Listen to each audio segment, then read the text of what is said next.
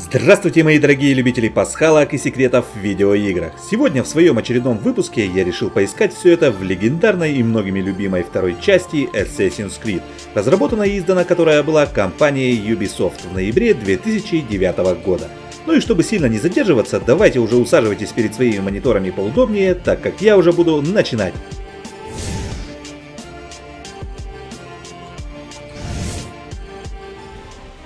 На вилле аудитория в Монтериджоне на самом здании можно будет отыскать спрятанный глиф в виде штрих-кода и надписи под ним 12.21.2012, обозначающий дату предполагаемого конца света по календарю индейцев майя 21 декабря 2012 года. К нашему счастью, который не произошел, и мы до сих пор продолжаем радоваться различным веселым роликам на ютубе. Уходи! Уходи! Уходи! Уходи! Уходи! Кстати, среди глифов нам попадаются и очень интересные рисунки, реально существующие на территории Земли. Это легендарные гигантские и фигурные геоглифы на плато Наска в южной части Перу. Если приглядеться к матери Эцио Марии, то мы с вами можем заметить, что носит она серьги и клон, чем-то напоминающие своим видом логотип компании Абстерго, которой и управляют тамплиеры, враждующие как раз с ассасинами. Либо мы чего-то не знаем и тут что-то скрывается, либо разработчики спрятали во всем этом еще одну какую-то тайну. Бегая по улочкам итальянских городов эпохи Возрождения, можно услышать от прохожих интересную фразу, в которой они нам предложат покидаться карликами. Не знаю, откуда тут взялось такое нетрадиционное развлечение, ведь из официальных источников оно зародилось лишь в 80-х годах прошлого столетия в Австралии и до сих пор пользуется особым интересом. Может, нечто подобное существовало и в те времена, было бы неплохо на такое взглянуть. А может просто кто-то из разработчиков попросту родом с самого маленького континента, и он просто захотел сюда внести хоть что-то от себя.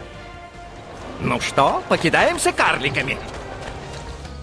В миссии, когда нам нужно будет освободить главу венецианских наемников Бартоломео де Эльвиана, то не спешим это делать, а приблизившись к клетке, где его содержат под стражей, нужно лишь немного подождать и понаблюдать за сценкой. В одном из моментов наш будущий товарищ выдаст очень интересную фразу, которую мы с вами могли уже ранее слышать. Нечто подобное выдавал персонаж Хэнкок, играемый Уиллом Смитом в одноименном фильме своим противником.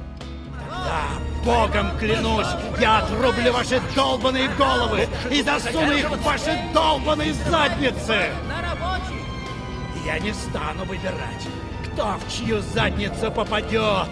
О, какое это будет зрелище! Об этом будут слагать песни еще долгие годы! Я клянусь мамой, твою башку в жопу водили, его башка в твою жопу, а у тебя несчастливый билет, твоей достанется моя жопа.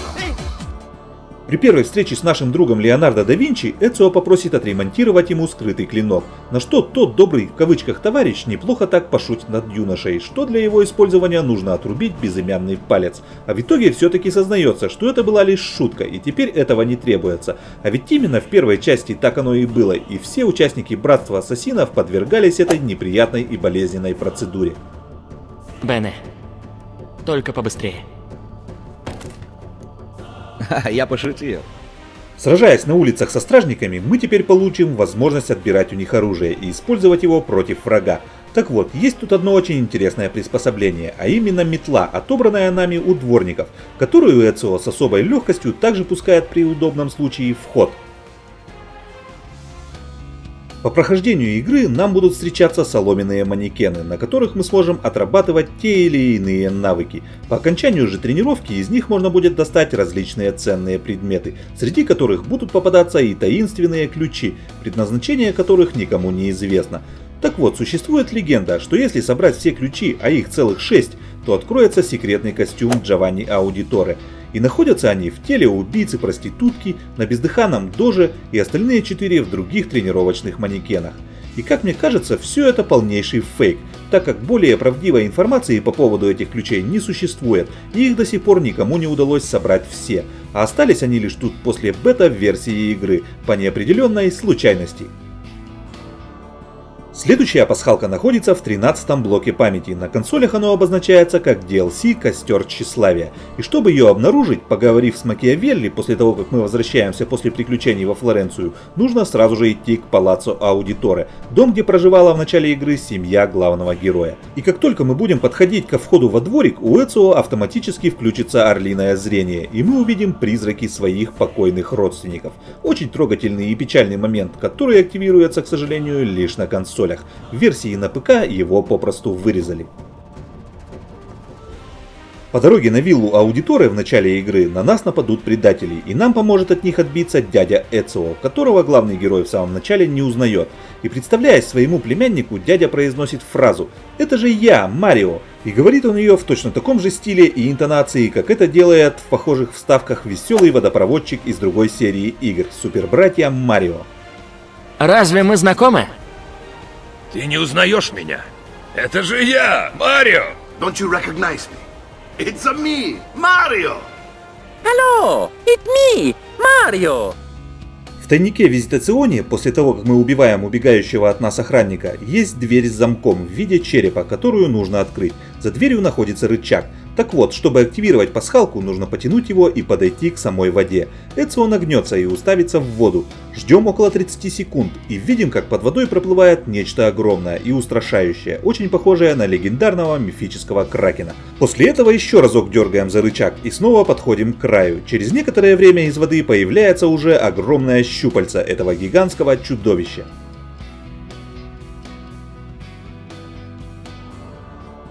Ну и расскажу немного о тех или иных секретах, которые открываются нам после сбора определенных предметов.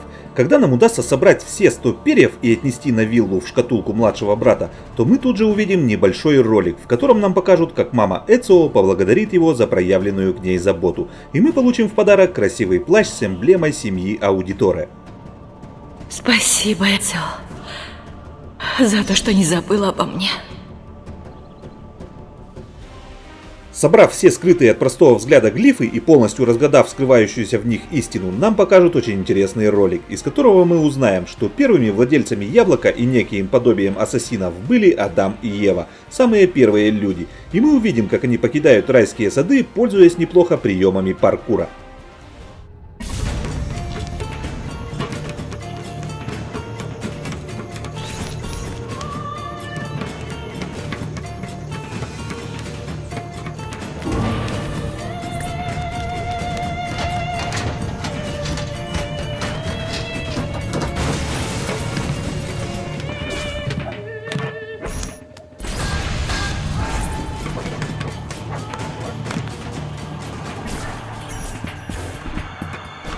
Адам, она у меня. Ева! Осторожно! Кстати, в игре присутствует и один неплохой бонус, приобретаемый в Uplay. Это оригинальный костюм Альтаира, который Эцио может примерить на себя. Не тот, что мы получаем за сбор всех ключей в гробницах ассасинов, а именно настоящий, в котором нам приходилось проходить всю первую часть.